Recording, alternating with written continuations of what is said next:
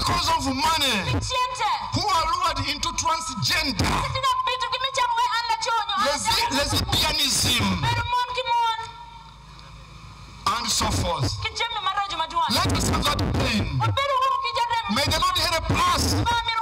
Parents, parents, let's have the pain for our country. Arem bilogo wa. But we do not allow such voices Kwa ye jemi marajo wa. to infiltrate our children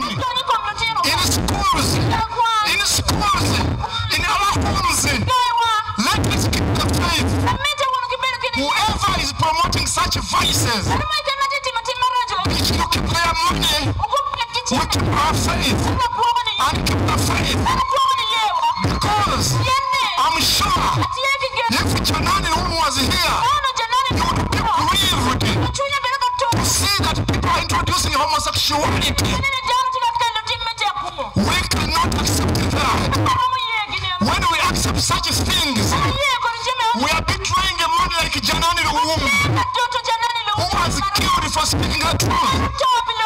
Let me call upon the government. Kwanyu mundu ka men. Actually, that law, that law against homosexuality Akati yake duni. should be brought back in parliament Proxy ya ni parliament. so that it is signed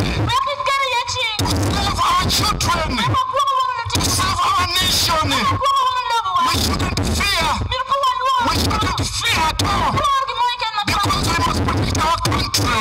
Miru wa kwa wunu. We must protect our children. Kwa wunu luti. We must protect our children's children's children. Tiro wa pana. Now and forever. Tim kiniro mapete. Praise the Lord. Church of England